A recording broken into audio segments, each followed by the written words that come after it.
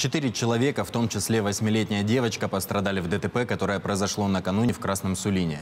Об этом сообщили в областной госавтоинспекции. Женщина за рулем автомобиля Volkswagen Passat по предварительным данным не выбрала безопасную скорость движения, на повороте не справилась с управлением, из-за чего допустила выезд на встречную полосу, а затем столкнулась со встречным авто «Лада Приора». В, зу- в результате ДТП пострадали водитель, а также два пассажира автомобиля Volkswagen, в том числе восьмилетняя девочка, которая находилась на заднем сидении и не была пристегнута ремнем безопасности.